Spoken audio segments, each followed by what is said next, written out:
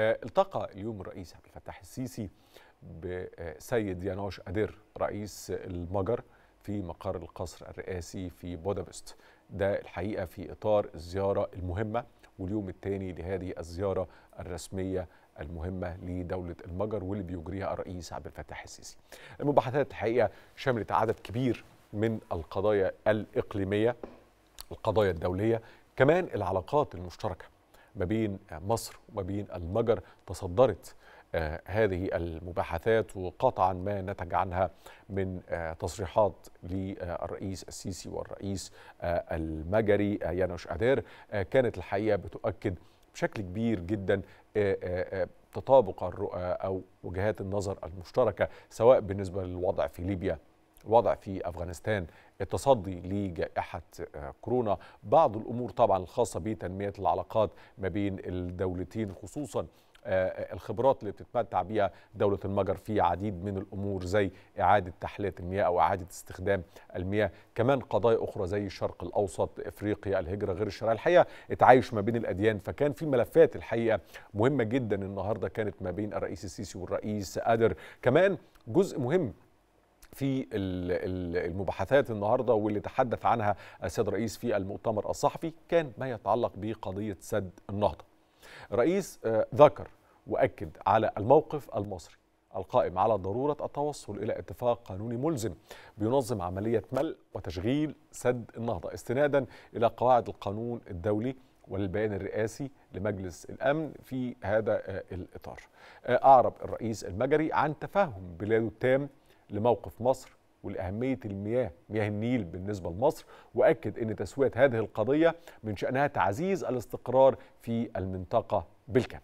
برحب بسعادة السفير محمد حجازي مساعد وزير الخارجية الأسبق. سعادة السفير مساء الخير. أهلا بحضرتك. أهلا بك يا أستاذ عمرو.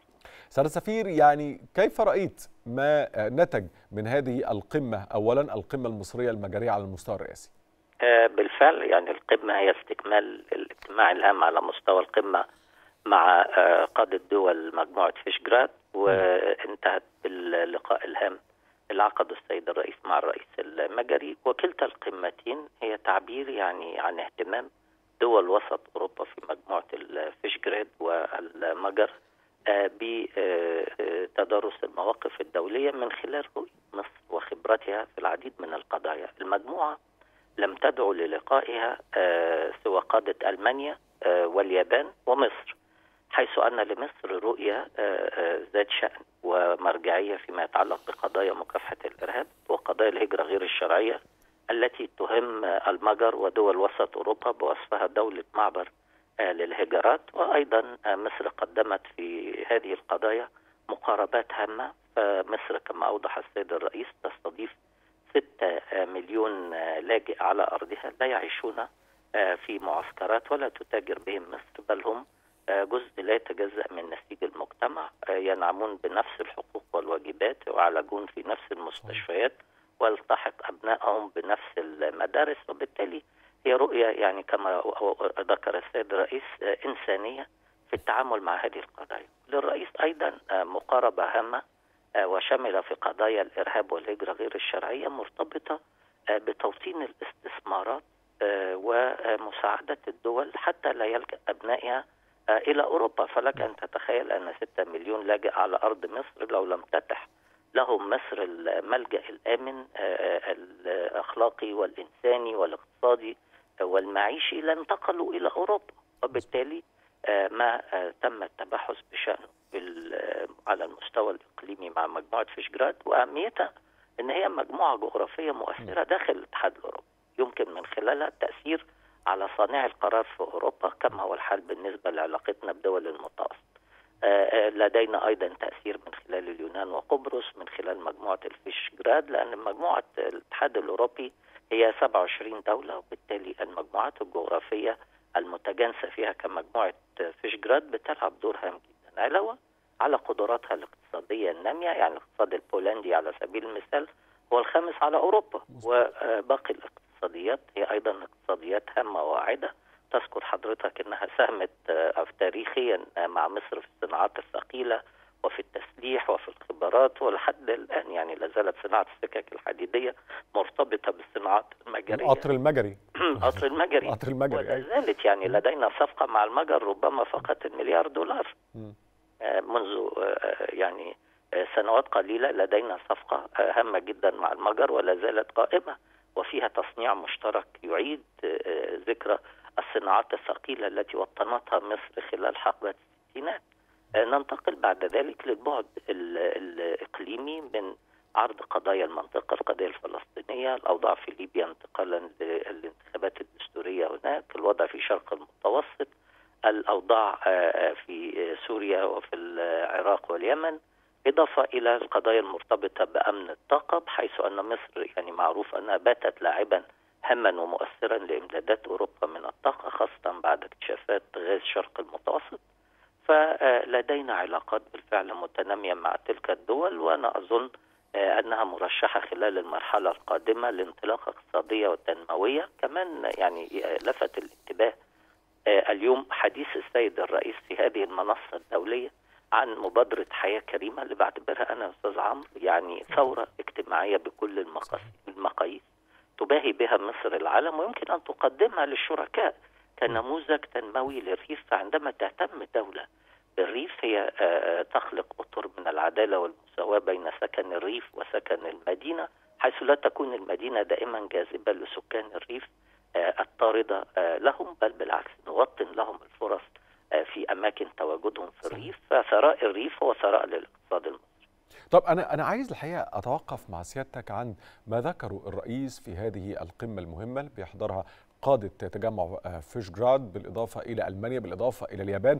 التأكيد على الموقف المائي المصري بأن آه، يعني 85 ل 95% من الأراضي المصرية أراضي صحراوية وأن مصر بالفعل بتدخل في آه، منطقة الشح المائي أو الندرة الشديدة في المياه. وبالتالي أن ده أي مشروعات غير متفق عليها على نهر النيل قد تؤدي إلى مشكلات وجودية بالنسبة للشعب المصري. شايف حضرتك إزاي التأكيد النهاردة من الرئيس السيسي في هذا التجمع وهذه القمة المهمة على هذه القضية المصرية بالنسبة لنا. يعني بكل تأكيد الرئيس بينتهز كل المناسبات الدولية الممكنة لعرض وجهة نظر آه، مصر بشأن قضية آه، ملف سد النهضة وشرح الارتباط الوجودي آه، للشعب المصري عبر تاريخه بنهر النيل. وبالتالي تكوين رأي عام دولي مواتي هو أحد أدوات الضغط آه، الدبلوماسي آه، على إثيوبيا بالإضافة أيضا لمخرجات مجلس الأمن.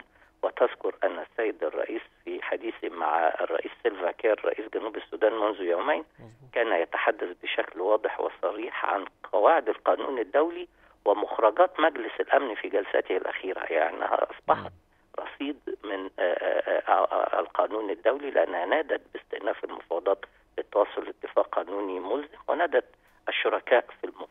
الدوليين للتقدم بمقترحات في إطار زمني محدد. أنا أظن أن السيد الرئيس وهو يجمع رؤى المجتمع الدولي المؤيدة ويمهد الطريق حتما لمزيد من التأكيد أو الضغوط على الموقف الإثيوبي آه، للسعي للتوصل إلى حل. ولكن نعلم كما ذكر الرئيس آه، في حواره مع جاك في محادثاته مع جاك سوليفان مستشار الأمن القومي الأمريكي الأسبوع الماضي آه، أن مصر لن تسمح بالمساس بأمنها القومي المائي. وأنا أظن أن هذه ليست تهديدا لأحد ولكنه هو إقرار للواقع. لأننا لا يمكن أن نتعايش مع وضع يتهدد فيه مصير آه، الأجيال الحالية آه، والقادمة. وحضرتك تفضلت بأن مصر بالفعل تحت خط الفقر آه، المائي. لن تسمح لدولة أن تمس أو تهدد أو ترتهنها بعد سيطرتها على الملف المائي. لدينا مساحة زمنية حتى الفيضان القادم نراقب فيه